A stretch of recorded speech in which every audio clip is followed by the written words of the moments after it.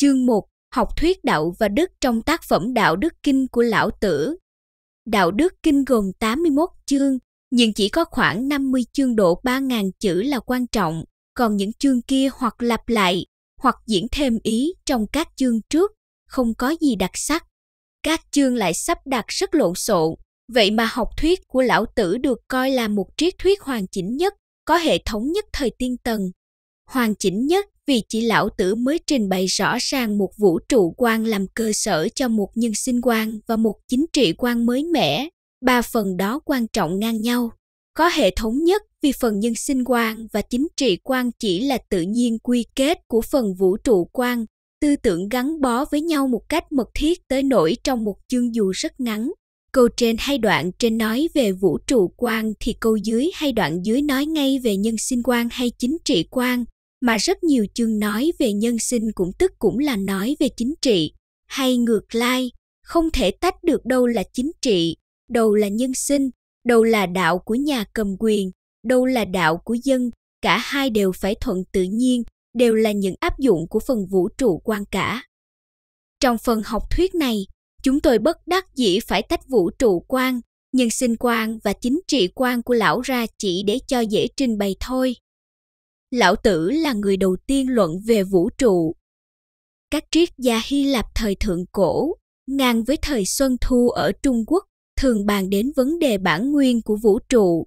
Vũ trụ sinh thành ra sao? Bản chất là gì? Như Thales 640, 480 cho nước là bản chất của vạn vật, Anaximen 540, 480 cho không khí là nguyên tố của vạn vật, Anaximander 610, 547 bảo vũ trụ hồi đầu là một khối lửa bao bọc hết thảy, trời là những vòm hơi nước mà người từ đất bùn sinh ra. Herakin 576, 480 đồng thời với khổng tử, bảo vũ trụ không do Thượng Đế tạo ra mà từ hồi nào tới giờ, nó vẫn có, nó sẽ vĩnh viễn tồn tại, mà nguyên tố trong vũ trụ là lửa. Các triết gia Trung Hoa thời Xuân Thu và thời Chiến Quốc chỉ trừ lão tử, đều không bàn tới vấn đề khởi thu đó. Dân tộc Trung Hoa cũng như mọi dân tộc khác tin có trời và thờ trời, từ thời nào ta không biết. Họ cho trời là gốc của vạn vật vạn vật bản hồ thiên lễ ký, là đấng chúa tể, có tai mắt, ý chí, tri thức, đủ tình cảm như người, lại cũng làm phúc làm oai như các vua chúa vậy. Trong kinh thi có vô số câu diễn lòng tin tưởng đó thiên giám tại hạ trời soi xuống dưới đại minh. Đế vị văn vương trời bảo vua văn hoàng hỷ. Thượng đế, giám quan tứ phương, cầu dân chi mạc thượng đế xem xét bốn phương, tìm sự khốn khổ của dân để cứu giúp hoàng hỷ. Kính thiên chi nộ, vô cảm hí dự phải sợ sự giận ghét của trời, không dám đùa vui bản. Thiên giáng tán loạn, cơ cận tiếng trăng trời gieo vạ loạn, đói kém đến luôn tiếc nam sơn nhưng đó chỉ là tín ngưỡng chung của nhân loại thời bán khai, chứ không bàn gì tới sự sinh thành của vũ trụ cả. Trung hoa cũng có thuyết ngũ hành, kim, mộc, thu, hỏa, thổ vào khoảng thế kỷ thứ năm trước công nguyên, nhưng không cho một hành nào có đầu tiên, mà thuyết đó mới đầu áp dụng vào lịch sử sau vào khoa học, y học, lý số học, chứ không dùng để giảng sự tạo thành của vũ trụ. Ngoài ra còn thuyết âm dương nữa, cũng không biết xuất hiện từ thời nào. Cứ theo sách quốc ngữ thì năm thứ ba đời chúa U Vương năm 779 trước Tây lịch xảy ra một cuộc động đất và bá dương phủ cho là do khí dương bị nén không thoát ra được. Khí âm bị nén không bốc ra được mà có hiện tượng đó. Nhưng cái gì sinh ra hai động lực thiên nhiên ấy thì chưa thấy nói tới. Phải đợi khi xuất hiện dịch truyền người ta thêm quan niệm thái cực nữa rồi mới vạch được lịch trình cuộc biến hóa trong vũ trụ. Hệ từ thượng truyện nói, dịch có thái cực sinh lưỡng nghi, lưỡng nghi sinh ra tứ tượng, tứ tượng sinh ra bát quái. Lưỡng nghi là âm dương, tứ tượng là bốn mùa, bát quái là càng trời, khung đất, chân sấm sét, tốn gió, khảm nước, ly lửa, cấn núi, đoài chầm, nhưng về tác giả của kinh dịch thì nhiều người còn thắc mắc. Từ trước người ta tin rằng mười thiên thập dực, tức dịch truyện thoáng truyện thượng, hạ, tượng truyện thượng, hạ, hệ từ truyện thượng, hạ, văn ngôn truyện, thuyết quái truyện, tự quái truyện, tạp quái truyện do khổng tử viết thêm. Ngày nay nhiều học giả cho rằng điều đó sai. Phùng Hữu Lan bảo thập dực do các nhà nho thời đầu Hán viết, Vũ Đồng bảo chu dịch do một số nhà nho đồng thời với tuân tử soạn, Quách Mạc Nhược cũng bảo thập dực của môn đệ tuân tử viết, mà tư tưởng trong dịch tổng hợp tư tưởng khổng, lão. Vì vậy chúng tôi cho rằng lão tử là người đầu tiên bàn về nguồn gốc của vũ trụ. Trước ông chưa có ai đặt ra câu hỏi vũ trụ có thu có chung không? Ông cho rằng vũ trụ có khởi thu và cơ hồ không có chung. Phần 1. Đạo là bản nguyên của vũ trụ. Chương 25 ông bảo, có một vật hỗn độn mà thành trước cả trời đất. Có thể coi nó là mẹ của vạn vật trong thiên hạ. Chương 52 ông nói rõ thêm, vạn vật có nguồn gốc, nguồn gốc đó là mẹ của vạn vật. Cái đó, ông không biết nó là con ai, có lẽ nó có trước Thượng Đế chương 4. Vậy lão tử bác bỏ thuyết trời Thượng Đế sinh ra vạn vật, mà có cái gì khác sinh ra vũ trụ, có trước Thượng Đế. Cái đó, ông không biết tên là gì, tạm đặt tên cho nó là đạo Cộng Hòa chấm 2 năm. Ông không tạo ra một tiếng mới mà dùng một tiếng cũ để diễn một ý mới. Chữ đạo mới đầu trỏ một đường đi, rồi sau trỏ cái lý phải theo, như khi người ta nói, đạo làm người, đạo làm con. Sau cùng nghĩa mở rộng ra nữa, và đạo trỏ luật, trật tự thiên nhiên. Lão tử có lẽ đã lựa chữ đạo để trỏ bản nguyên của vũ trụ vì cái nghĩa sau cùng đó. Nhưng ông nhận rằng tên đó, ông dùng tạm vậy thôi vì không thể tìm được một tên nào thích hợp và ngay cái bản nguyên của vũ trụ đó cũng không thể nào diễn tả được. Cho nên ông mở đầu đạo đức kinh bằng câu Đạo mà có thể diễn tả được thì không phải là đạo vĩnh cửu bất biến, tên mà có thể đặt ra để gọi nó đạo thì không phải là tên vĩnh cửu bất biến. Ông thú thật với ta rằng cái đạo đó huyền diệu vô cùng, vĩnh cửu bất biến, công dụng của có vô biên. Ông không hiểu biết nó được vì con người chỉ là một phần tử cực kỳ bé nhỏ của nó.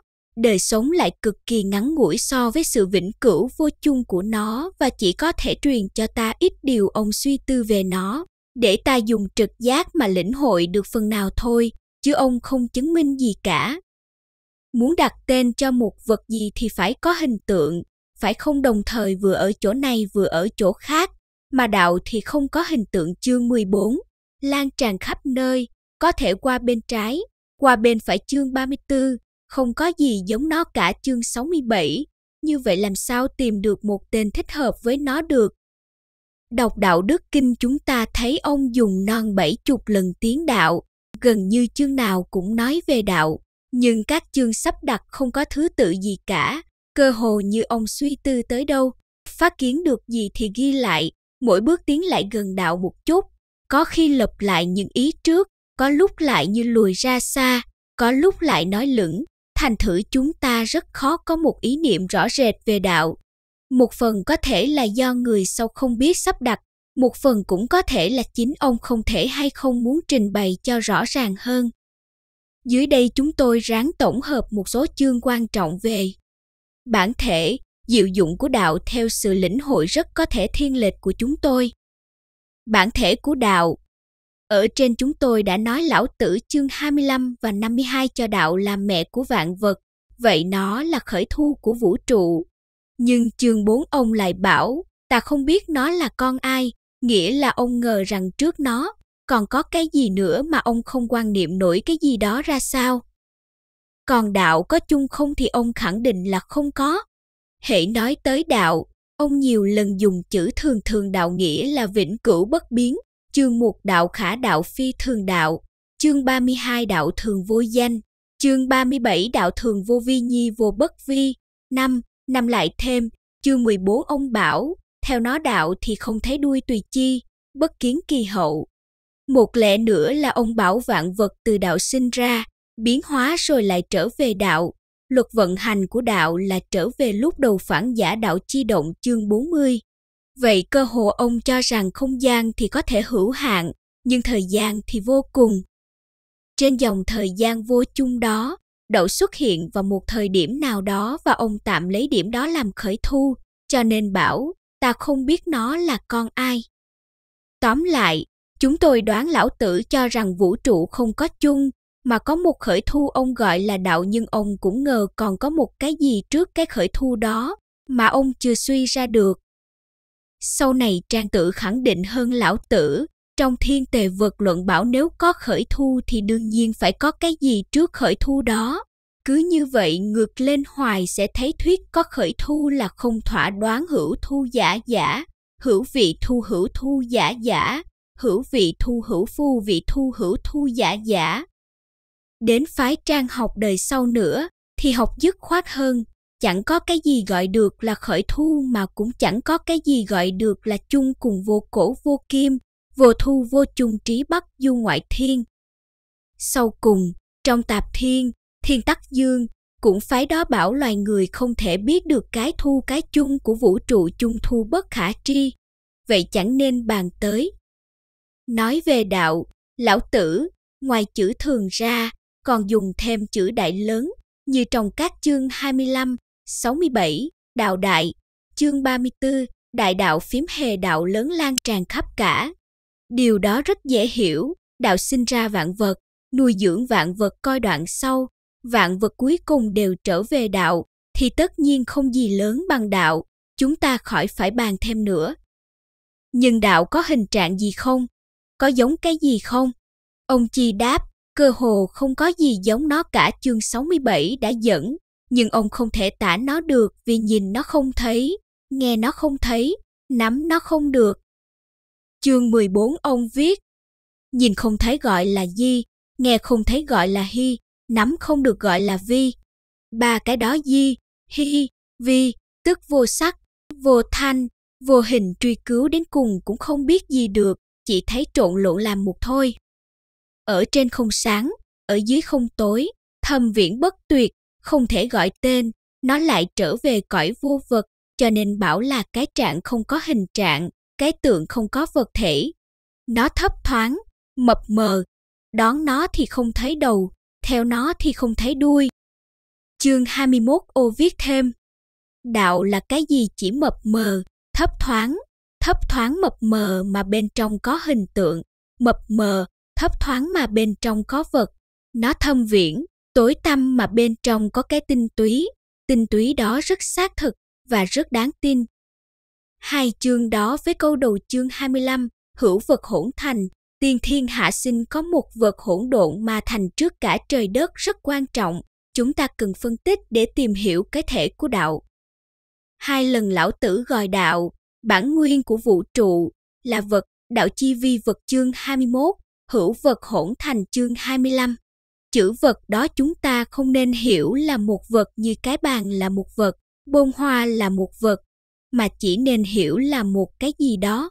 Cái gì đó đạo mênh mông thâm viễn chữ này cũng được dùng hai lần, tối tâm chương 21, hoặc không sáng, không tối, thấp thoáng, mập mờ chương 14.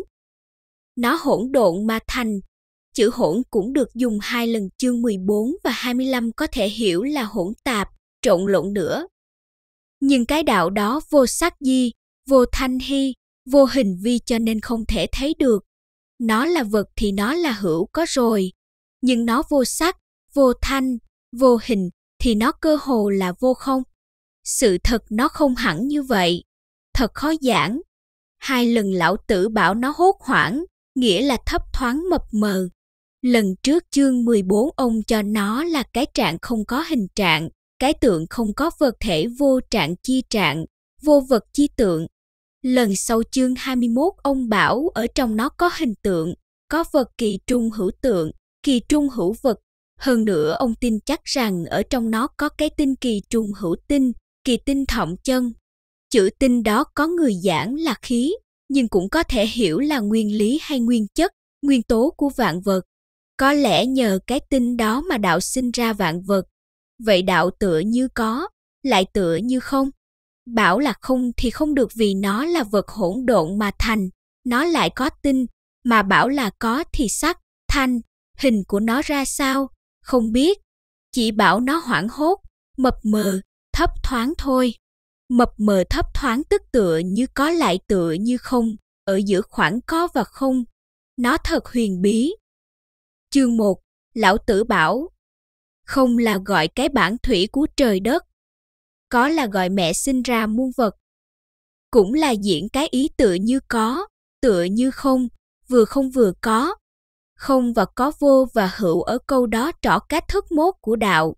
Xét cái cách thức vi diệu của đạo thì coi nó là không, mà cái cách thức sinh hóa tới cùng mà nó nhờ cái tinh hoa của nó, như trên đã nói thì coi nó là có. Những đoạn lão tử sáng tả cái đạo đó khiến chúng tôi liên tưởng tới định nghĩa danh từ Nebuner của người Âu, một khối mênh mông trong vũ trụ, mờ mờ, hình rất khác nhau, như mây như khói, gồm nhiều chất, khí. Tới đây, chúng ta có thể bảo rằng theo lão tử, đạo là bản nguyên của vũ trụ, cũng có thể là tổng nguyên lý hay nguyên tố của vũ trụ. Dụng của đạo Thể của đạo là huyền diệu, mà dụng của nó thì vô cùng dụng chi hoặc bất doanh chương 4. Nó sáng tạo vạn vật dĩ duyệt chúng phủ chương 21, vạn vật nhờ nó mà sinh vạn vật thị chi sinh chương 34. Nó sinh vạn vật ra sao, theo trình tự nào? Về điểm này, Lão Tử nói rất mù mờ, chỉ trong 25 chữ đầu chương 42 mà chúng tôi dịch là Đạo sinh ra một, một sinh ra hai, hai sinh ra ba, ba sinh vạn vật. Vạn vật đều cũng âm mà ôm dương, điều hòa bằng khí trùng hư. Và thú thật chẳng hiểu một, hai, ba là gì, khí trùng hư là khí gì. Có người giảng đạo là không, không sinh ra có, vậy một đó là có, hoặc đạo là vô cực, vô cực sinh thái cực, một đó là thái cực, lại có người bảo đạo là tổng nguyên lý, lý sinh khí, vậy một đó là khí. Hai thì ai cũng đồng ý là âm, dương vì vạn vật cộng âm mà ôn dương như lão tử nói. Còn ba thì là khí trùng hư do âm dương giao nhau mà sinh ra chăng? Hay là cái nguyên lý nó làm cho âm dương hòa với nhau? Còn một thuyết nữa, một, hai, ba không phải là bản số số nhiều, ít mà là số thứ tự. Mới đầu đạo sinh ra cái gì đó chẳng hạn là khí dương, rồi sau sinh ra cái gì đó nữa khí âm, rồi sau nữa lại sinh ra cái gì nữa. Như vậy cho tới vô cùng. Ai muốn hiểu sao thì hiểu, và chúng ta chỉ cần nhớ mỗi điều này là đạo sinh ra vạn vật. Chương 25, Lão Tử bảo, Người bắt trước đất, đất bắt trước trời, trời bắt trước đạo, đạo bắt trước tự nhiên. Đạo bắt trước tự nhiên phải hiểu là đạo với tự nhiên là một, đạo tức là tự nhiên, vì ngoài đạo không có gì khác cả. Như vậy ta thấy đạo làm phép tắc cho trời, cho đất, cho người, cho vạn vật. Phần hai đức là sự trưởng thành của vạn vật. Nói về sự sinh ra của vạn vật, lão tử rất mù mờ, nhưng nói về sự trưởng thành của vạn vật thì lời ông vừa gọn, vừa đầy đủ. Chương 51 ông viết, đạo sinh ra vạn vật, đức bao bọc, bồi dưỡng, nuôi lớn tới thành thục, che chở mỗi vật. Vật chất khiến cho mỗi vật thành hình, hoàn cảnh khí hậu, thủy thổ hoàn thành mỗi vật. Đạo có công sinh ra vạn vật thôi, công nuôi dưỡng, che chở mỗi vật cho tới lớn là về đức.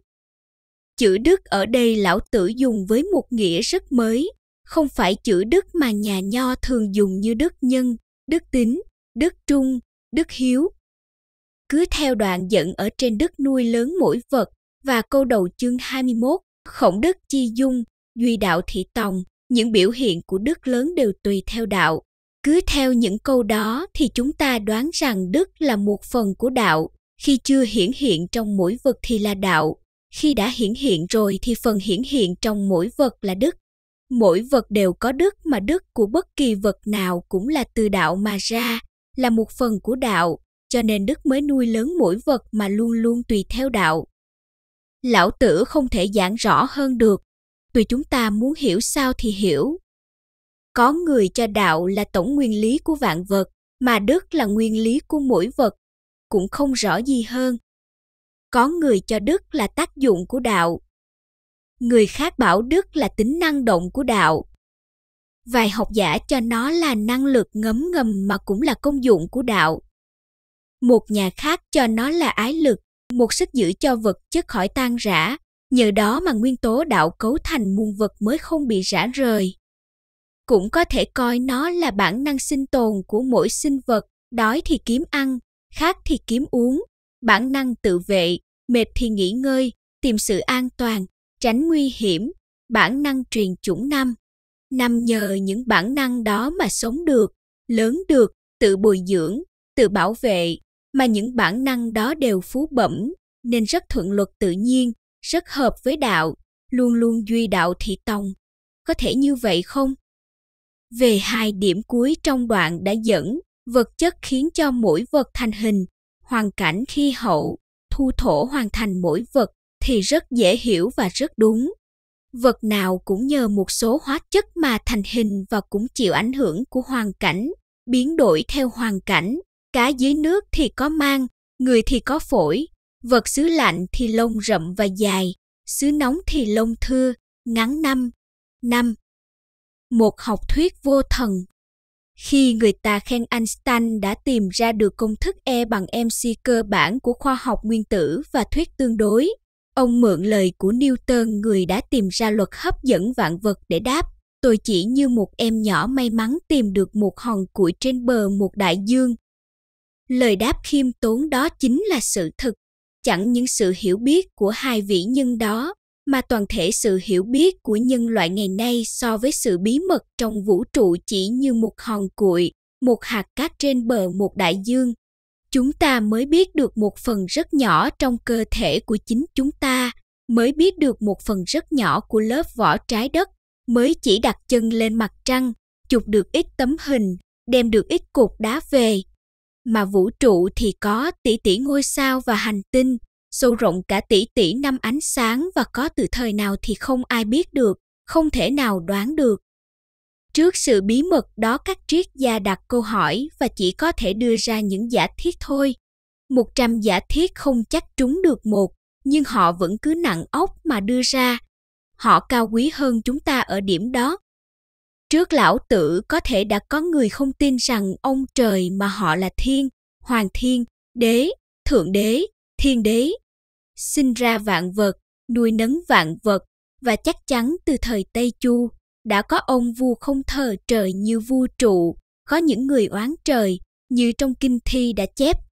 Du du xương thiên, hạt kỳ hữu sở. Vằng vạc trời xanh, ông ở nơi đâu? Đường phong, dân kim chi vô lộc, thiên yêu thị trác.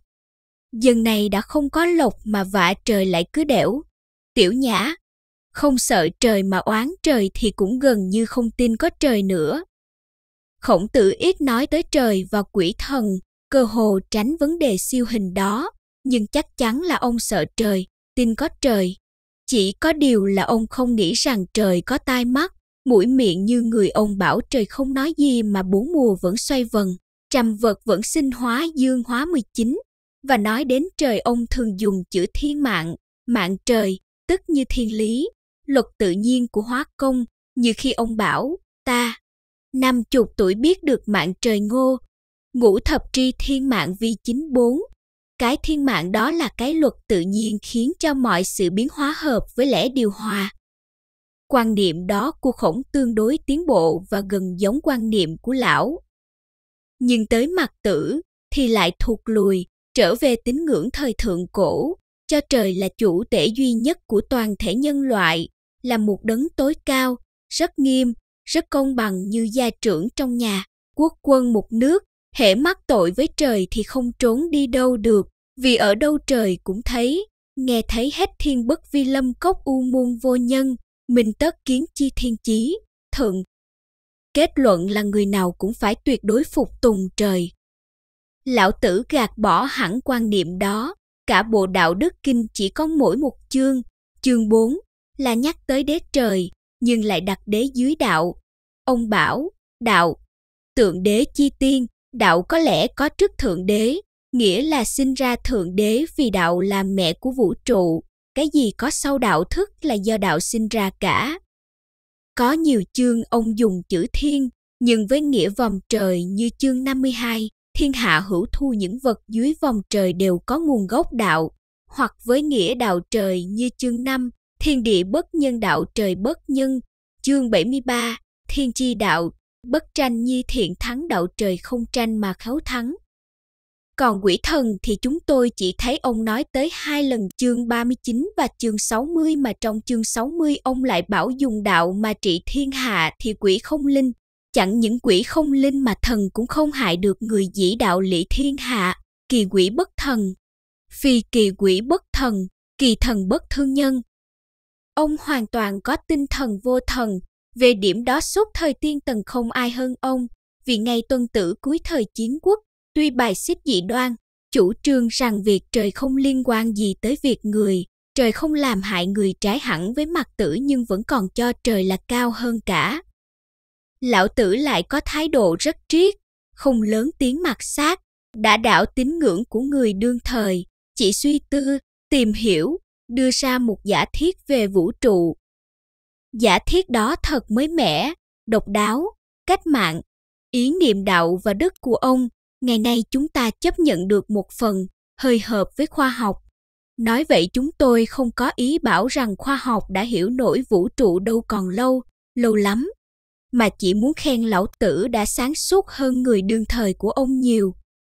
Ông lại khiêm tốn, thận trọng, khiêm tốn khi ông nhận ngay ở chương đầu rằng vũ trụ vô cùng huyền bí, không thể hiểu được, giảng được, thận trọng khi ông nói về đạo. Ông dùng những tiếng lưỡng tượng có lẽ tự giống như, nhược hình như, hoặc hoặc là ông chỉ thành thực trình bày ý nghĩa của ông, dò dẫm tìm chữ để diễn tả hình ảnh về đạo hiện trong óc ông, như trong các chương 14 và 21 vừa cô động, vừa thâm thúy, vừa bóng bẩy, hiếm thấy trong triết học Trung Hoa. Hết phần một chút quý vị và các bạn triệu điều thuận vạn điều an.